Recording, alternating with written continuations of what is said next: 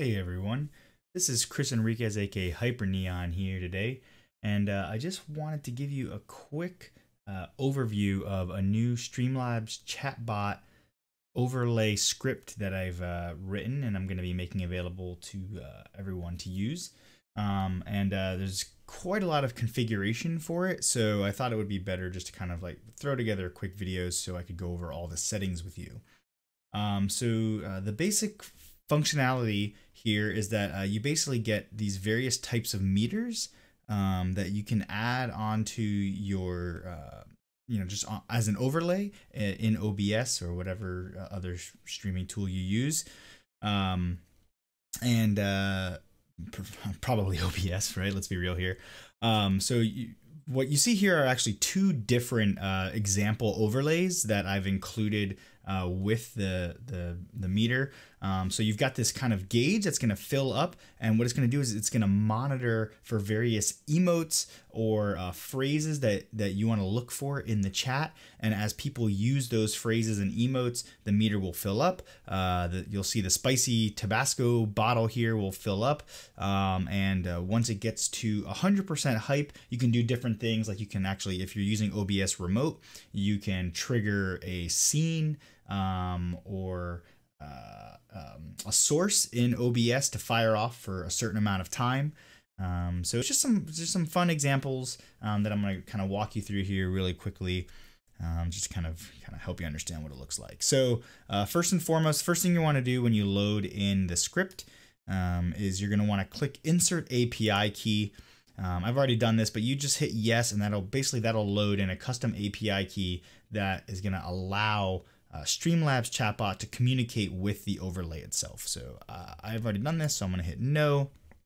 Um, next thing you want to do is you're going to want to click Open README, and you're going to want to just take a quick look at this and what it can do. Um, just kind of give you, uh, you know, I don't know, some information about what you're looking for. Uh, one quick note is that we've got uh, three additional commands that are added. Um, you can control what level of user you want to be allowed to use the commands. Uh, in the settings, I'll get to that in a second. Uh, basically, you have um, freeze hype meter, unfreeze hype meter, and max out hype meter. Um, freeze and unfreeze will just basically pause it for a certain amount of time uh, in case you don't want to, to be counting um, you don't want the, the meter to increment. Uh, unfreeze will unfreeze it, of course. And then max hype meters, if you just decide, oh, we're only at 25%, but I want 100% hype right now, uh, I want it to go to, you know, just going to hit max hype, and that'll do that. Uh, again, you don't have to use this um, for hype. You could track other things as well. It's just basically tracking chat, right? Um, so, you know, these overlays that I've included are for, you know, they, they're all kind of based around hype, but you can use them as a baseline. You could add in your own images to do other things. Uh, if you didn't want to use this to track hype, but maybe you just wanted to use it to track general chat involvement or the number of times people use a certain emote, um, but necessarily not necessarily call it hype. That's, you know, totally up to you. Uh, so what you have here in this first box are the hype phrases. And so what you're going to put in here is a comma. And, and, as you go through the settings, you're going to see there's all these uh, pop-ups that you can use to help you out as you're going through and setting all this, uh, setting all this up. Um, but I'll give you a quick overview here. Uh, so you've got your hype phrases and uh, this is just a comma delimited list. Exactly what you put in here is what it's going to match on. So uh, um, it is case specific. Um, you can put spaces in there, but the spaces have to be in exactly that format. So if you have a comma uh, like this, I, I, have, so I have two emotes, game, you know, my emote, my buddy's emote, uh, and then um, if I were to put uh, a space here or a space after the emote, it's only going to match that emote if the person uses the emote and then a space, right? Same thing with this phrase. If I don't have a space before the word hot sauce, then it wouldn't match it. Um, if I leave it like this, then it'll match the word hot sauce with one space in the middle. Uh, if you have two spaces, it's gonna do that. So you just wanna be careful with that um, that it's an exact phrase, ma phrase match on each of these comma delimited lists. You can put pretty much however many that you want on there. Obviously, if you go really, really crazy, it's going to uh, negatively impact performance at a certain point.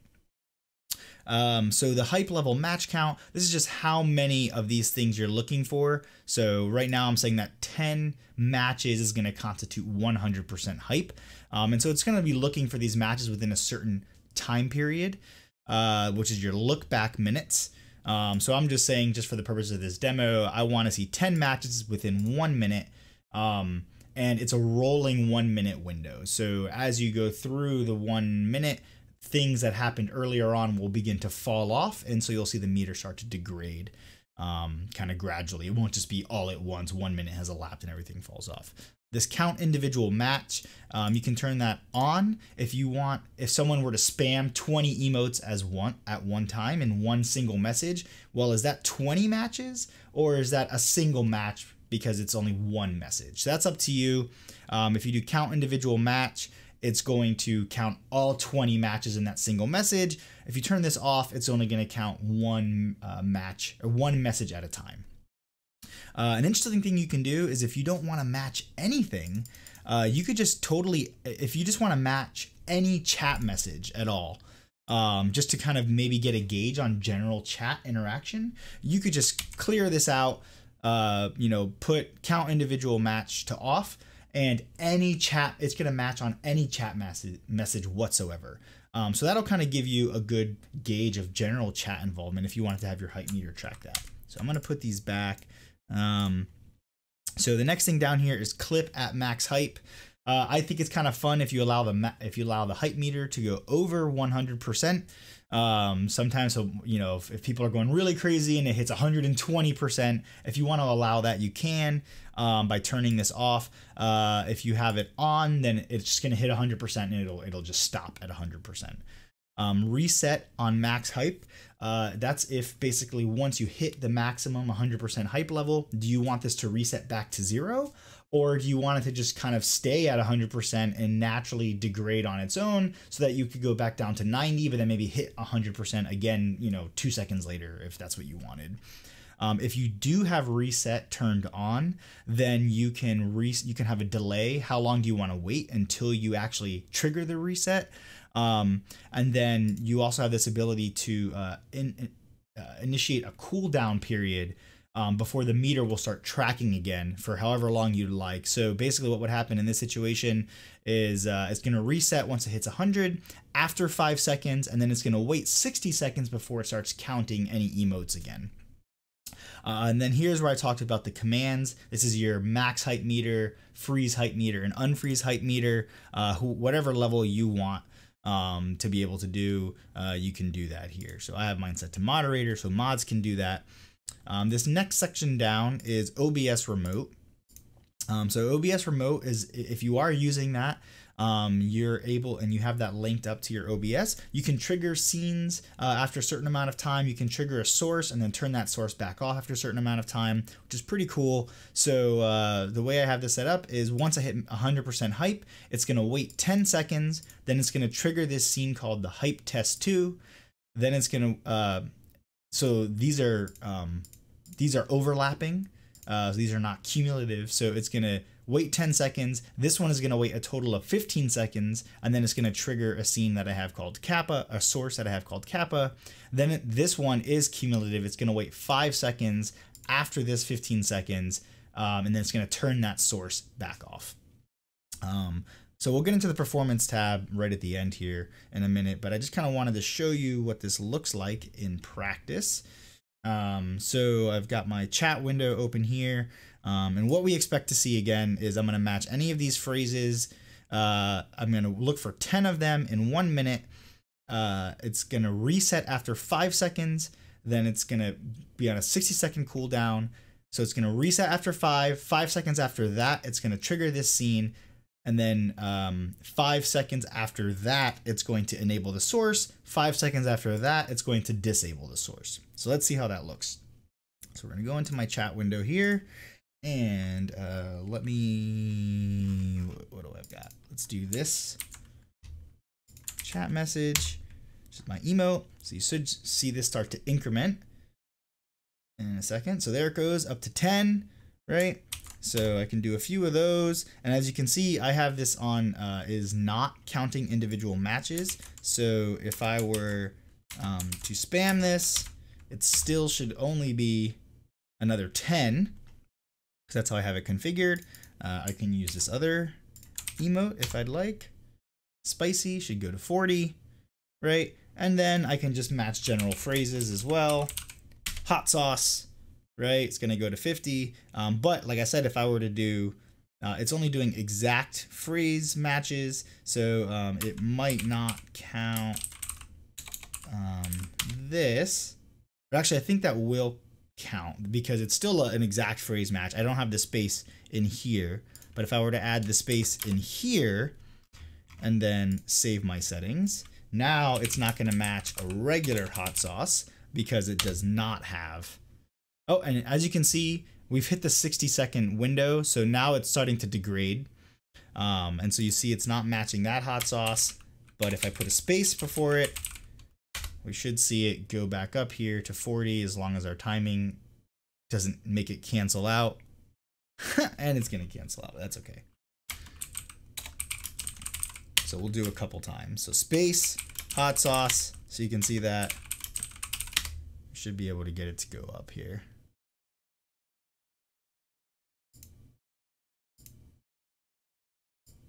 Uh, maybe. Maybe I'm a liar.